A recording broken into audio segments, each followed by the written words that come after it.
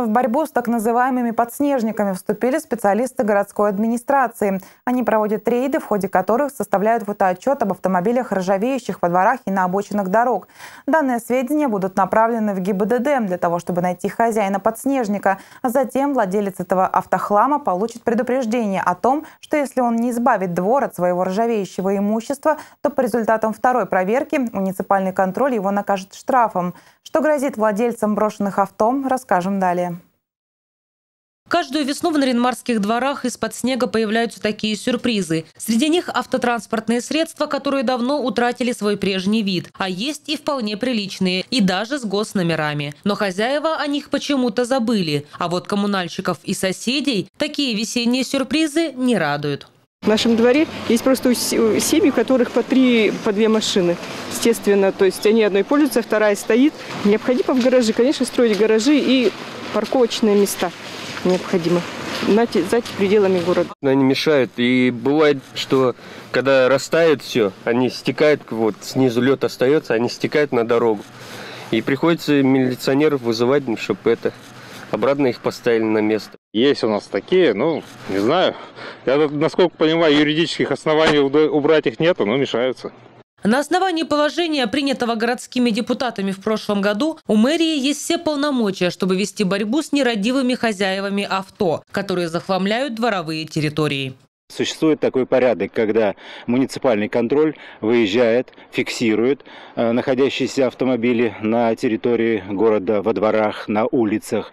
И э, в начале э, фиксация идет фотофиксация, затем э, они через определенное время проезжают снова, и если автомобиль находится на том же месте, то имеют право наложить штраф э, взыскание владельцам этого автохлама.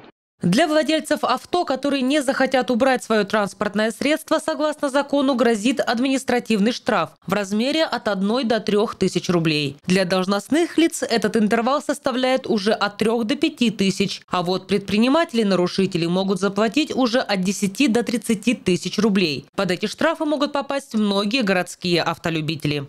Согласно правилам и нормам по благоустройству территории и содержанию объектов, находящихся на территории города, которые приняты в середине прошлого года, следует, что владельцам личного автотранспорта запрещается использовать для долговременного хранения и размещения транспортных средств более чем 24 часа одномоментно проезжую часть улиц, проездов города и дворовых территорий. Временная стоянка личного автотранспорта не более 24 часов одномоментно на дворовых и внутриквартальных территориях допускается в один ряд и должно обеспечить беспрепятственное продвижение уборочной и специальной техники. Но эти правила распространяются только на те автомобили, которые имеют госномера. С теми же машинами, которые брошены без номерных знаков, еще проще. В этом случае убрать подснежник не составит труда. Заявление о захламлении может написать любой житель дома, около которого стоит авто без хозяев. Направить документ необходимо в чистый город. После этого на место выезжают сотрудники предприятия, фотографируют свалку, составляют акт. И вывозят хлам на полигон ТБО. Или отправляют предпринимателю, который интересуется автохламом. По данным мэрии, в 2014 году таких машин было вывезено 84, в прошлом 75.